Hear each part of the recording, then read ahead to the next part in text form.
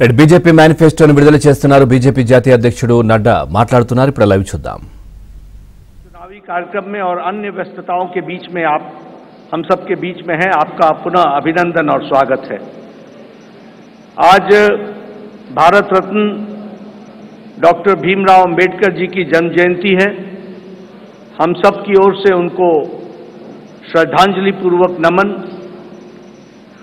और हम सब जानते हैं कि डॉक्टर अंबेडकर जी ने अपना सारा जीवन सामाजिक न्याय के लिए, पूरी ताकत के साथ सामाजिक न्याय की लड़ाई उन्होंने जीवन भर लड़ी।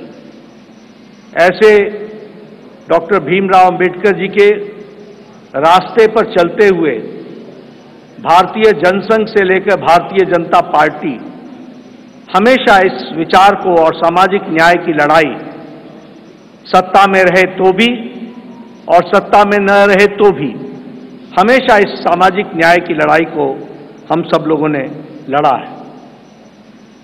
हम जानते हैं कि आज संकल्प पत्र की को- लोकार्पण होगा लॉन्चिंग होगी।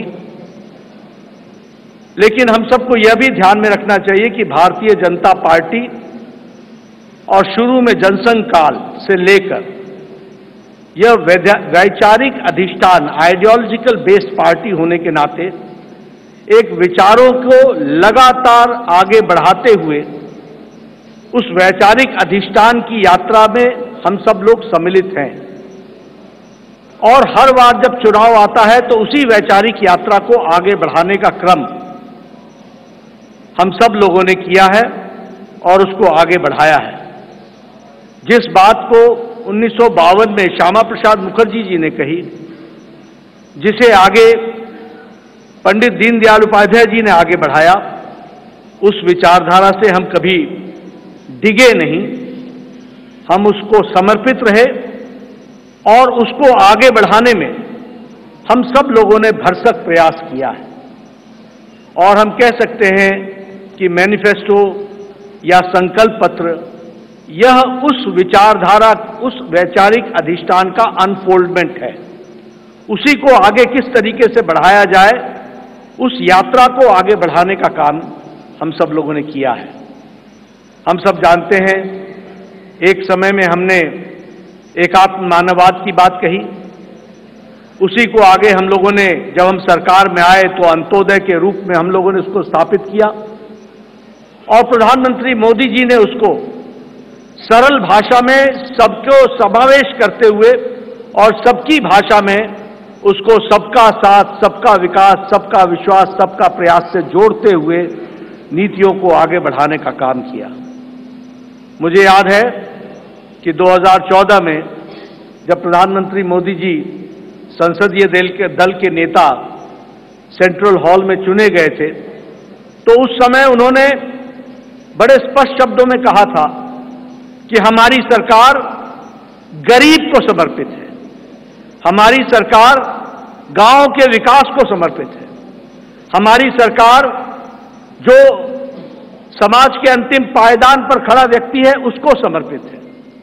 और उसी को कार्य रूप देते हुए 2014 से एक लंबी यात्रा करते हुए पिछले 10 वर्षों में प्रधानमंत्री मोदी जी के नेतृत्व में देश ने इन सारे आयामों को बखूबी जनता को, गाँव गरीब की चिंता करते हुए उसको आगे बढ़ाने का काम किया है। मित्रों, मैं यहाँ एक बात और भी कहना चाहता हूँ कि जब देश की जनता क्लियर मैंडेट देती है तो नतीजे भी बड़ी स्पष्टता के साथ आते हैं। हम सब लोग जानते हैं कि 2014 में प्रधानमंत्री मोदी जी के नेतृत्व में हमारा वोट शेयर 31 प्रतिशत पहुँचा, दो सौ बयासी सीटें हमने लोकसभा की जीती। और 2019 में प्रधानमंत्री मोदी जी के नेतृत्व में हमने अपना ही रिकॉर्ड तोड़ा और हमारा वोट शेयर सैंतीस पॉइंट तीन परसेंट तक पहुँचा और हमारा वो सीट शेयर 303 सीटें हम लोगों ने लोकसभा में जीती। हम ये कह सकते हैं कि इस इस क्लियर मैंडेट को प्रधानमंत्री मोदी जी ने गाँव के लिए, गरीब के लिए, वंचित के लिए दलित के लिए हमारी महिलाओं के लिए हमारे युवाओं के लिए हमारे किसान भाइयों के लिए और हमारे वंचित भाइयों के लिए उनको समर्पित किया। और उसी तरीके से अगर मैं गाँव की बा, बात करूँ तो आज गाँव मैं यहाँ प्रधानमंत्री जी थोड़ा समय ज़रूर लेना चाहूँगा लेकिन मुझे याद है उन्नीस सौ तिरानवे में मैं पहली बार विधायक बना था। उस समय हमें अपने विधानसभा क्षेत्र में लगभग 90 प्रतिशत के गाँव को घूमने के लिए पैदल जाना पड़ता था। आज हम कह सकते हैं कि ग्रामीण सड़क तीन लाख अस्सी हज़ार किलोमीटर की ग्रामीण सड़कें बनी हैं। ऑल वेदर रोड बना और ऑल वेदर रोड के माध्यम से पक्की सड़कें बनी। आज हमारे इलाकों में कोई ऐसा गाँव नहीं रहा जहाँ हम पक्की सड़क से पहुँच नहीं सकते। हैं यह बदलता भारत की तस्वीर हमने देखी है। उसी तरीके से अभी अभी साठ हज़ार नए गाँवों को पक्की सड़कों से जोड़ने का काम हुआ है और ऑल वेदर रोड्स बनी है। कभी हमने कल्पना नहीं की थी कि गाँव का सशक्तिकरण होगा। कभी गाँव में भी कोई ऑप्टिकल फाइबर पहुंचेगा। लेकिन आज मुझे खुशी है कि आपके नेतृत्व में एक ला- दो लाख पंचायतों को आपके नेतृत्व में ऑप्टिकल फाइबर से जोड़ दिया गया है और उनको भी इंटरनेट फैसिलिटीज़ के साथ जोड़ा गया है। गरीब कल्याण की बात करें तो एक समय में यह असंभव सी बात लगती थी कि हम गरीब तक अन्न पहुँचा सकेंगे।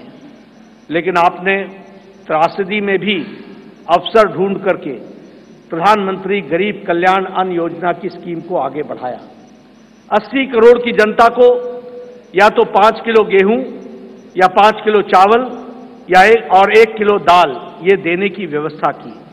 आज उसके कारण हम ये कह सकते हैं कि लगभग 25 करोड़ लोग भारत की आबादी आज गरीबी की रेखा से ऊपर उठ करके अबव पावर्टी लाइन में आ गई बिलो पावर्टी लाइन से निकल गई, ये भी हमारे ध्यान में। और इंटरनेशनल मॉनिटरी फंड के अनुसार अति गरीबी भारत में अब एक प्रतिशत से भी कम हो गई है point zero eight percent seven percent पर लाकर के खड़ा किया है।